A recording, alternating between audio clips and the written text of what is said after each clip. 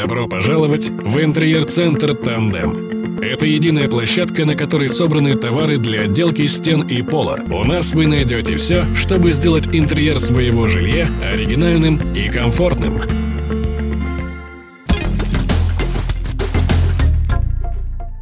Сегодня узнаем больше о коврах, какими они бывают, и постараемся развеять некоторые мифы об этих очень красивых домашних аксессуарах. Ковры – это художественные текстильные изделия, которые предназначены для украшения и утепления дома. Самые теплые из шерсти, с них, пожалуй, начнем. Здравствуйте. Здравствуйте. Так что же мне нужно знать для того, чтобы правильно выбрать шерстяной ковер? Шерстяной ковер – это теплое, натуральное изделие. Порой для прочности добавляют синтетические нити. При должном уходе оно прослужит вам долгое время. Шерстяные ковры способны собирать влагу в сырых помещениях, но сохраняют тепло в холодных комнатах. Один из самых устойчивых и безосновательных мифов утверждает, что ковер – это источник пыли аллергии. Но это не так.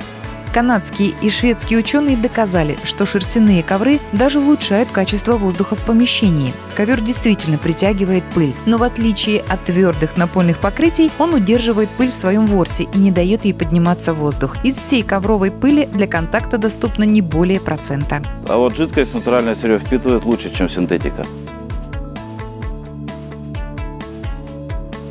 Так как же мне все-таки отличить натуральную шерсть от синтетики? Это шерсть, а это синтетика.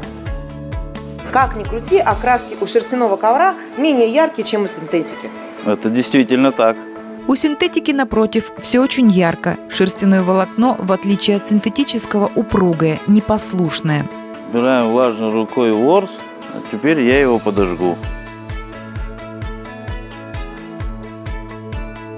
Ой, а пахнет-то как?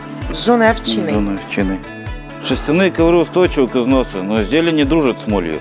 Андрей, я слышала, что первое время у шерстяных ковров вылезает подшерсток. Да, это может длиться первые 2-3 месяца, но не более. Эти ковры рекомендуется регулярно пылесосить. Влажную чистку делать только холодной водой. Более глубокая чистка раз в год и лучше, чтобы ее сделали специалисты. Так как же все-таки лучше проверить качество шерстяного ковра? При сгибе ковра структура не видна. Это означает, что ковер качественный. Андрей, а синтетические чем отличаются от натуральных? Прежде всего, более низкой стоимостью. Вискоза – синтетический гипоаллергенный материал, не электризуется, имеет небольшой вес. Визуально ковер из вискозы трудно отличить от ковра из натурального шелка. Что это за материал? Очень похоже на шерсть.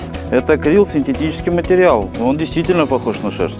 В большинстве таких ковров применяется смесь шерсти и акрила. У них стойкая окраска, изделие гипоаллергенно, поэтому подходит даже для детских комнат. Ковры позволяют сохранить тепло, не бояться моли и для чистки поверхности можно применять воду и даже специальные средства.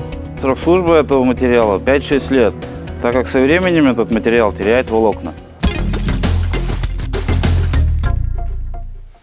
Андрей, мы обсудили все виды синтетических материалов. Нет, самый популярный вариант – полипропиленовое волокно. При более низкой цене эти ковры дадут фору более дорогим изделиям. Они отталкивают воду, пыль и грязь.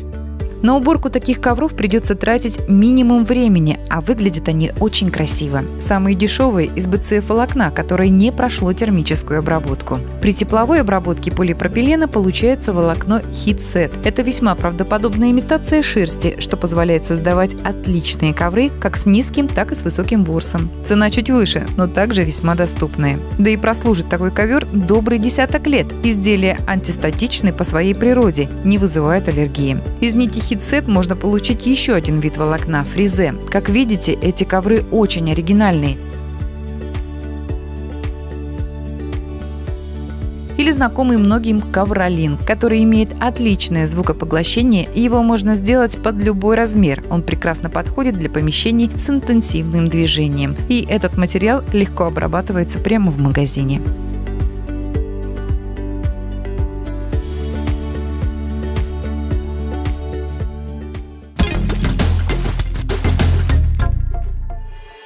Андрей, существует мнение, что чем тяжелее ковер, тем он лучше. Это самое большое заблуждение. Главное в ковре – это плотность. Чем плотнее ковер, тем он качественнее. Для чего изучать ковер с изнаночной стороны? Это очень правильный подход к выбору. Фабричные ковры э, полностью совпадают рисунком с изнаночной с лицевой стороны, что крайне редко бывает э, с коврами ручной работы. Итак, выбираем то, что нравится, то, что отвечает нашим запросам качества, поддерживает общий стиль всего помещения. А вот натуральный будет ковер или из синтетики, решать только вам.